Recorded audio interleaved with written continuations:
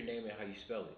Uh, my name is Cody Beckmann. It's spelled C O D Y B E C K M A N N. For I sure. heard you helped out with a big tournament recently. Uh, yeah, I did. It took place uh, December 12th through the 17th, and uh, I just got to be able to work with four other Wayne State students, and we were able to go to Minneapolis, and it was a, it was a great experience. I learned a lot.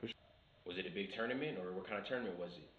It was the Division One Final Four for uh, volleyball for the NCAA, and we were a part of the AVCA, which is the American Volleyball Coaches Association, and so we got to help uh, set up the convention center that's just outside of where the games were played.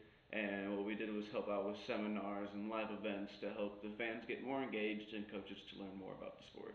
How was the experience? Experience was great. I got a lot to. I got to meet a lot of people. Uh, I met some people, got some connections, got some more things lined up from that. Um, I was able to really get my foot in the door. I believe it, it helped me a lot get over some fears that I had of, with public speaking. So uh, all in all, I mean, I learned a lot and it was a great experience. Uh, you mentioned that it was uh, it was for the Wayne State students. Is that like a program here at Wayne, or you know what kind of program was it? It's sort of like a program here at Wayne. We have a professor who has been a part of the volunteer program at the AVCA for about the last 17, 18 years.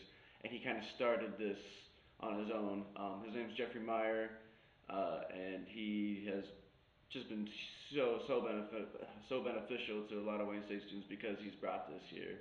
And I was just happened to be one of four students, I was honored to be able to go.